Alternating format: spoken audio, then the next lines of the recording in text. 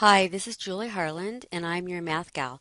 Please visit my website at yourmathgal.com where you could search for any of my videos organized by topic.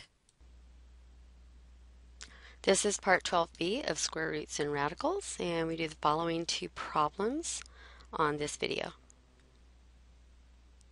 All right, we're going to simplify this problem. So right now, the variable part with the cube root is not the same on each of them, so they don't look like like terms at all. So what we're going to do is begin by simplifying each term separately. All right, so in the first one, we want to see if there's any perfect cube in here. So for 24, the question is, is there a factor of 24 that's a perfect cube? So you need to know your perfect cubes. 2 cubed is 8, 3 cubed is 27, 4 cubed is 64, etc.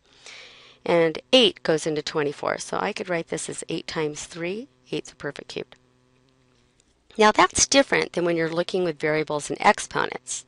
So when you take the cube root of something that has an exponent, you're looking for an exponent that 3 goes into. If it's a cube root, you want the exponent to be, in other words, a multiple of 3, 3, 6, 9. So x cubed fits the bill already. So I could leave it like that.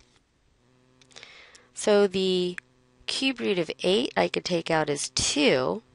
Notice this number here isn't a number that 3 goes into. I'm actually, this is a coefficient inside here, right? So you're looking for a, a, a number that's a cube, uh, that's a perfect cube. But x cubed, you're looking for the exponent to be a multiple of 3. It's a little tricky. So the cube root of x cubed then is x. The new exponent will just be 3 divides into 3 when, or you should know that cube root of x cubed is 3 because if it's an odd exponent cube root of something to the, let's see, the fourth root of x to the fourth is um, x, the fifth root of x to the fifth is x, etc. All right, let's go on to the next one. We've got to see if there's a perfect cube that is a factor of 81. Okay, 8's the first perfect cubed, right? That doesn't go into 81. The next one is 3 cubed, 27, and that does go into 81. So we have 27 times 3. And now we're looking for an exponent, right, that 3 goes into evenly. And 3 does not go into 4, right? So we have to go down. What's the number below 4 that 3 goes into? That would be 3. So we want to rewrite that as y cubed times y. So my perfect cubes over here are the cube root of 27, which is 3, and the cube root of y cubed is y. So whatever we pull out gets multiplied by anything in the front. So I have 5y times 2 times x. That'll give me a 10xy. And what's left inside is just a 3y. For my next term, I have 4x times 3 times y. So that's 4 times 3 is 12xy. And what's left inside is a 3y. So I have cube root of 3xy. Now I'm going to look and see if these are like terms. So the like terms are exactly the same here. They both are xy cubed root of 3y. They have to be exactly the same. If you had a y squared inside and a y over here, it's not going to work. If I only had an x out in front not um, and an xy over here, that would not work. But these are really right here exactly the same like terms. So this is just like doing 10m minus 12m. You would have negative 2m. You just subtract 10 minus 12. So that's a negative 2, and then you just write the variable part. So you write that whole thing. And that is your answer.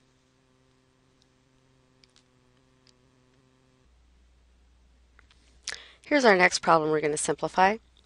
Now I might kind of run out of space as I'm writing this, but let's just try it. So for this first one, I'm looking to see if underneath here I've got I can write this as some perfect cubes. And notice the x to the 6 is already perfect cube, but this 54 is a little problem. So I'm going to just write underneath here, that's 27 times 2. And I'm going to rewrite that y to the fifth as y cubed times y squared. So they're perfect cubes. So then what can I really, so in other words, instead of 54, I'm going to think of that as 27 times 2. Instead of y to the fifth, I'll think of that as y cubed times y.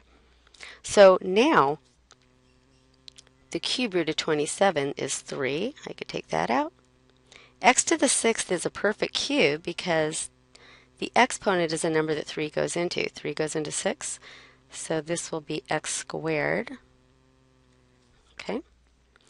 And then y cubed, cube root of y cubed is y. So it's a little bit messy, but I just was going to run out of space unless I kind of did it like that. So what do I have if I rewrite what this simplifies to? I've got 2 times 3 times x squared times y. So I've got 6 x squared y cube root. Right now, what's left in here? Be careful. You've got what's left. I've got that 2 and that y squared. So I've got 2y squared. So that's the first term. Plus, all right, now let's simplify this one over here. Well, I can't take anything out of this 2y squared in the middle, so that's nice. I just get to keep that. 3x squared y cube root of 2y squared. What about this last one? Let's see, do I have a perfect cubed in here? Well, 8 goes into 16, so I'm just going to say that's the same as 8 times 2. And then the x cubed is already a perfect cube. So out of this 8, I can take out a 2, cube root of 8. And out of the x cubed, I could take out an x. So that gets multiplied by what's out in front. So I have x times y times 2 times x, so that's 2x squared y.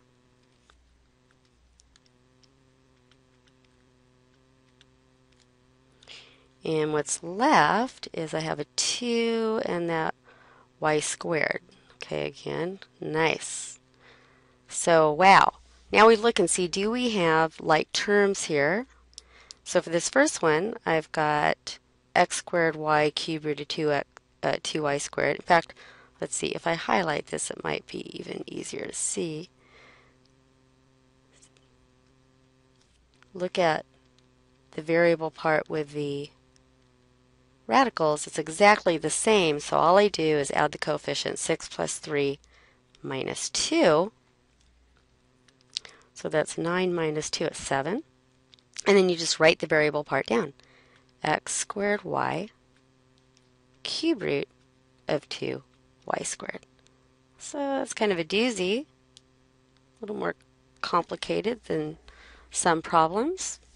But at least this second one I was already simplified. But just keep in mind, unless the variable part with the radicals, like it has to be exactly the same. These have to look exactly the, the same in order to combine like terms.